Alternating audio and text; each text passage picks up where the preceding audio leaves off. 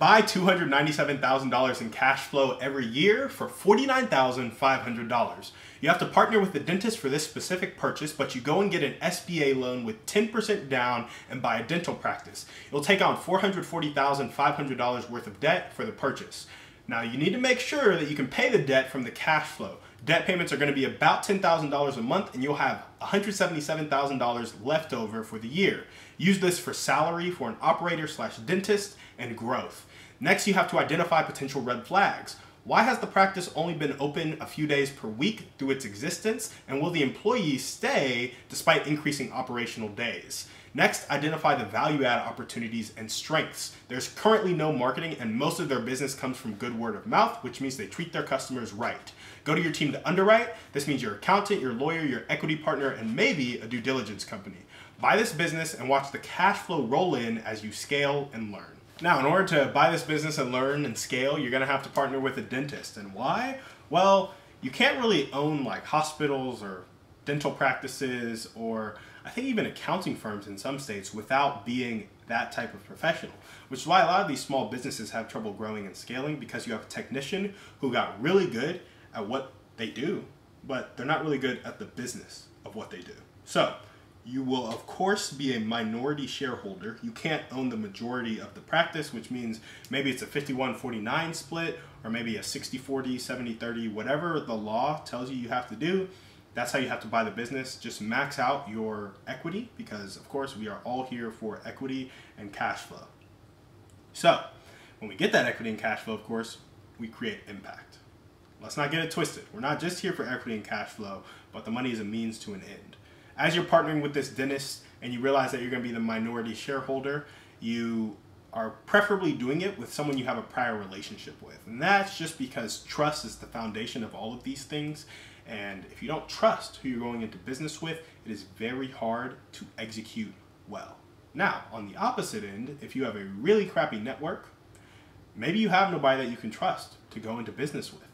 If that is the case, a, you need to become a better version of yourself so that you can attract better people, so that you can trust them, so that you can go into business with them, which means you need to become a more trustworthy person. Speaking to myself here just as much as I'm speaking to you.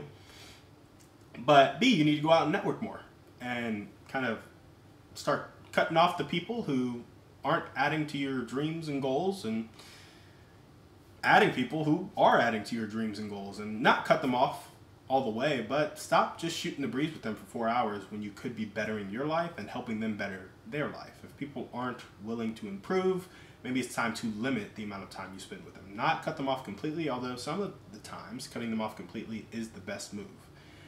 Once you preferably have somebody you trust, you know you're the minority shareholder, you want to lay out the specifics of the partnership. Who's bringing the money? How much money are we bringing? What's the equity split? What's the cash flow split? What's the operational split? Are you going to be the dentist and I'm going to handle the marketing? Am I going to go become a dentist? Am I just going to handle uh, kind of customer success and we bring somebody in for marketing? How is this all going to work? Are we going to have a COO? Are we going to buy more practices? Are we going to scale? What's the cash flow goal? What's the exit goal? How much work do we want to do in the meantime? How many years do we want to do this for? Start to lay all that stuff out in the partnership then after you kind of get that partnership locked down, you have the dentist, preferably somebody you know, and you have the nitty gritty of all the operational and finance kind of to-dos that you have to check off. You go to the red flags. And the red flag I noticed, again, I go to BizBuySell for all these opportunities and I, I was looking over it and they brought up that the practice was only open for a few days a week. My question is why?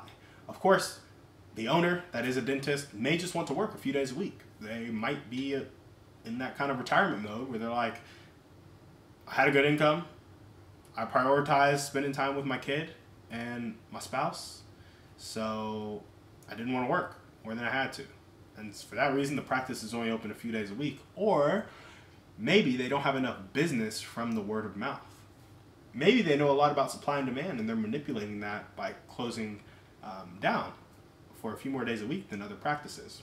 Regardless, it's a bit of a red flag to me. I want to know the reason. It could be a good reason, it could be a bad reason, but I want to dive more in to that reason.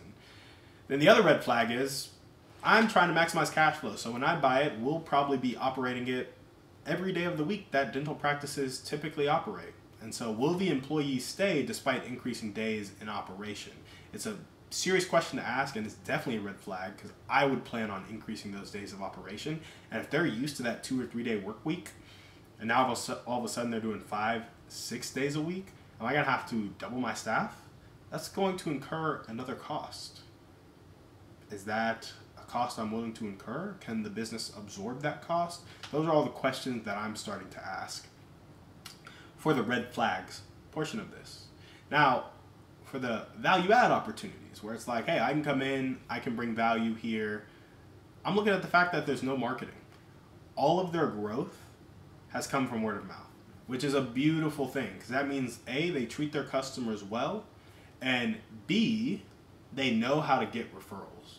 So I probably don't have to do a ton with the infrastructure there, but they're not marketing, which means I can start doing direct mail campaigns. I can start kind of bringing in an affiliate program where I incentivize people to bring in more referrals, maybe. I don't know. I wouldn't want to touch the great word of mouth that they already have going. But what I would do is I would realize this is a chance to study great word of mouth and then build on it. What are they doing well? And how can we do more of it better? So, do more better with a great word of mouth and then start marketing.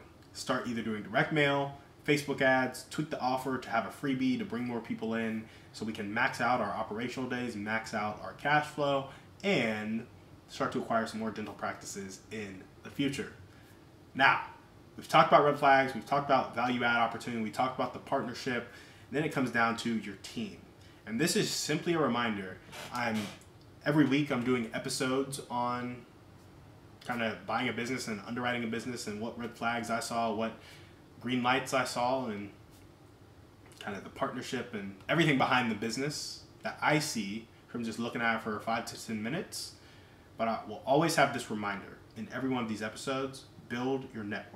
Go to the networking events for mergers and acquisitions. Go to the conferences for mergers and acquisitions. Get on LinkedIn and connect with people. Get on Twitter and tweet at people and connect with people who are in the M&A space, people who are buying and selling businesses, talk to business brokers, talk to accountants, talk to lawyers, talk to due diligence companies, and start to build out your list of people that can help you when it comes time to acquire your business. Get into communities of people doing business. That looks like Pace Morby's community. I think he has a zero down community where they're really focused on creative finance. You have Codie Sanchez, who's really focused on helping people buy boring businesses. Get into communities where people are doing the do and start networking at these events and through LinkedIn and Twitter so you can build up your network so that when it comes time to close, you're prepared. that's what we got for you guys today on the show. Thank you so much for watching. We will see you on the next one. And remember, we are a community of people judged not by our wealth, but by our impact.